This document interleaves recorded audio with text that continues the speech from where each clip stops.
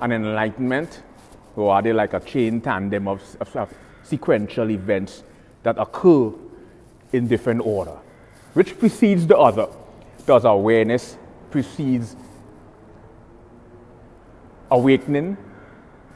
Uh, does awakening precedes enlightenment?